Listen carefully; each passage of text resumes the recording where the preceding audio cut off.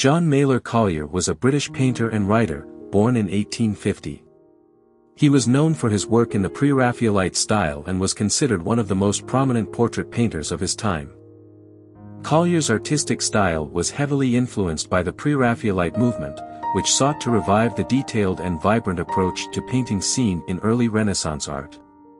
His portraits were known for their attention to detail and rich colors, capturing the essence and personality of his subjects. Collier received his education at Eton College and further studied painting in Paris under the guidance of Jean-Paul Laurens. He later continued his artistic development at the Munich Academy, where he honed his skills and refined his technique. Joseph-Marie Vien's early journey and influences Joseph-Marie Vien, a French painter, had a remarkable journey in the world of art. He was supported by Comte de Caylus and began his artistic education at a young age in the studio of Natoire.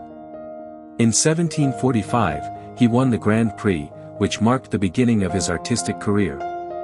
During his time in Rome, he immersed himself in the study of nature and drew inspiration from the great works of art surrounding him. Vien's time in Rome greatly influenced his artistic style and development. The struggles and triumphs of Vien's career Vien's return to Paris proved to be challenging, as his style differed greatly from the popular style of the time. Despite facing criticism, he was eventually admitted to the Academy, thanks to the support of François Boucher, who was angered by Vien's painting Daedalus and Icarus, now housed in the Louvre. Vien's career reached its peak when he became the director of the School of France in Rome. However, he refused to mentor Jacques-Louis David, considering him too old.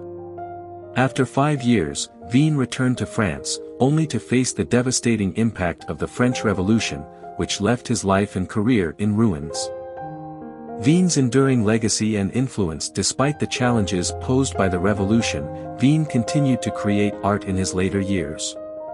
In fact, at the age of 80, he even won a government competition in 1796. His talent was recognized by Napoleon Bonaparte, who appointed him as a senator.